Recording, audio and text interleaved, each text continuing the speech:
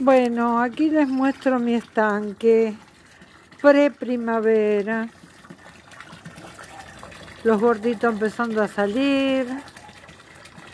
Las plantitas esas que nunca se me secaron, por suerte. La verdad que tuve plantas con estas heladas terribles toda la temporada. Les muestro el estanque pre-primavera y después ya se los mostraré con algunos cambios. Por ahora es como está bastante bien, les digo.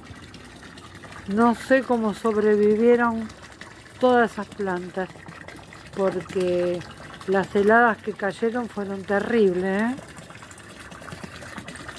Bueno chicos, nos estamos viendo